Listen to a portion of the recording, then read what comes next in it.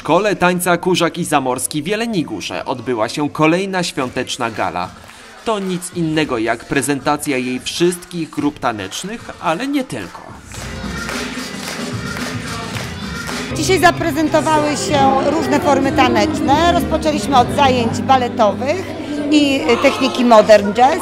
Następnie akrobatyka prowadzona przez e, pana, który jest absolwentem szkoły cyrkowej, e, bierze czynny udział w przedstawieniach cyrkowych. Zajęcia hip-hopowe prowadzone przez panią Dominikę Krause i taniec towarzyski wykonywany przez najmłodszych od 5 roku życia po pary sportowe.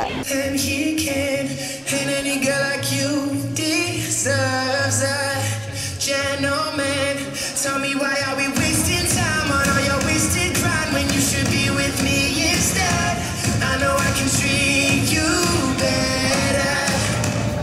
jesteśmy w grupie tanecznej, ale jesteśmy w akrobatycznej. Mamy z panem Andrzejem Skotkiem.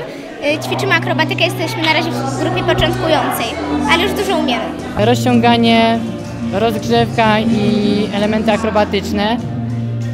Duży nakład tego, a w domu e, rozciąganie, przypominanie sobie i to daje efekty później, żeby dojść do sukcesów i akrobatycznie być uzdolnionym.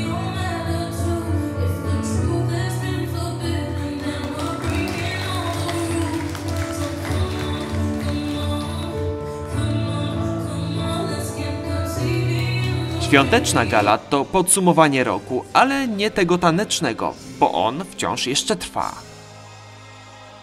Nasz rok y, y, liczymy od września do czerwca, czyli tak jak rok szkolny. Natomiast podsumowaliśmy y, rok y, dzisiaj kalendarzowy i taki specjalny występ dla rodziców i dla dziadków i dla całych rodzin, y, bo było dużo osób z nami. y, Taki typowo świąteczny występ. Jest ruch, jest umuzykalnienie, jest, są formy towarzyskie, jest uczenie, jak się można świetnie bawić, niekoniecznie z alkoholem czy z innymi używkami.